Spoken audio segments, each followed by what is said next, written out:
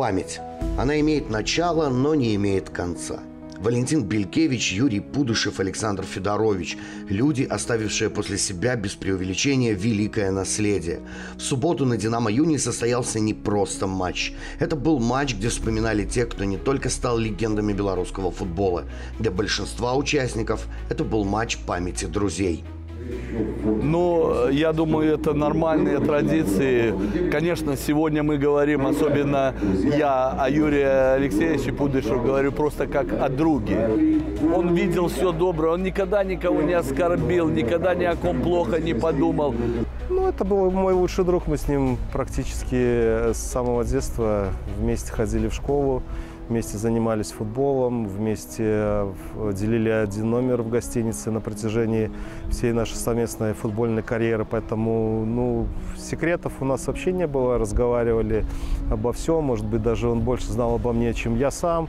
Ну, это образное выражение. Ну, э, сказать, что э, я до сих пор вот не верю, что его с нами нет. У меня до сих пор номер телефона сохранился. И такое ощущение, что где-то э, уехал, может, куда-то на каникулы, но не могу до сих пор поверить, что он нас покинул навсегда. В этот день почтить память футболистов пришли все, от Анатолия Байдачного до Александра Глеба. Ведь, по сути, и Белькевич, и Федорович, и Пудышев могли бы сами принимать участие в таком матче. А зная Юрия Алексеевича, он бы сыграл оба тайма и потребовал бы еще. Алексеевич, да, он больше всегда встречаешь, он всегда улыбка, всегда какие-то истории, анекдоты, там, весело, любил поиграть за ветеранов, там, говорю, ветераны, давайте 2 по 30 минут сыграем. Он говорит, нет, нифига, давайте 2 по 45. О фигуре Юрия Алексеевича и так сказано немало, и в его случае всегда будет недостаточно.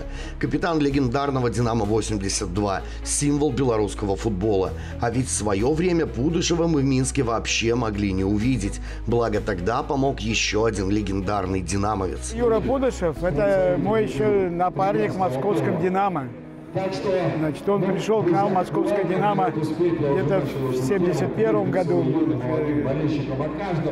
И, игра, и попал, вот, играл в основном составе московского «Динамо». То есть мое с ним знакомство еще дальнее, до Минска. И в Минске он тоже оказался, ну, ну, если не благодаря мне, а благодаря моему, как говорится, содействию в этом вопросе. Меня попросил тренер э, Горянский был Евгений Иванович. Я с ним и с Курнениным переговорил, и они вместо Пахтакора Ташкентского поехали, судьба, поехали в а как не вспомнить выход Пудышева на замену в матче Брестского «Динамо» в 56-летнем возрасте? Уважаемые болельщики, определены лучшие игроки матча в составе каждой из команд.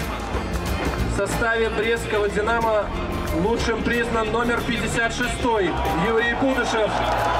Ну и мечта его была, чтобы стать самым возрастным футболистом. Ну, он этого добился. Но кто не помнит фантастические передачи и шикарные голы Валентина Белькевича? Белькевич, Кутузов, Белькевич, Булыга. Белькевич, надо сравнивать счет, и Белькевич это делает. Среди участников матча памяти его партнеры по Минскому «Динамо» сборной Беларуси. Это был интеллект сборной национальной, естественно, киевского «Динамо», где он провел всю карьеру. И э, я считаю, что э, Валик Белькевич, мне кажется, опередил свое футбольное время. Он бы мог с его интеллектом как знаете, я знаю, как в киевском «Динамо» руководство и все говорили, что если, Вали, если Валик Белькевич передачу не отдаст, Андрей Шевченко не забьет. Вот что значит центр поля, человек, который вел всю игру.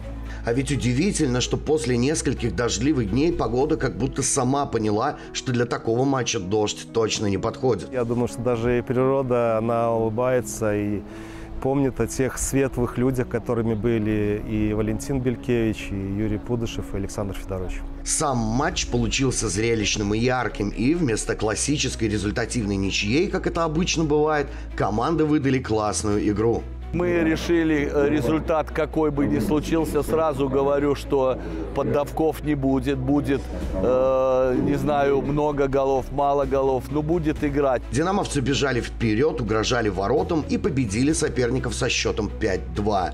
Ну а потом была серия пенальти памяти Александра Федоровича. И вот в ней выиграли ветераны Батэ. Хомутовский отразил три, а полевые игроки реализовали все пять попыток. Серия пенальти первую очередь важна была памятью Александра Федоровича, нашего легендарного вратаря. Поэтому я думаю, что те, кто пришли, получили и удовольствие от матча, и почтили память наших легендарных Белькевича, Пудышева и Саши Федоровича. И все же счет матча – это всего лишь цифры на табло. Главное – это, конечно, память. Так что в субботу ветераны сыграли настоящий матч жизни. Ведь не зря говорят, человек жив, пока о нем помнят.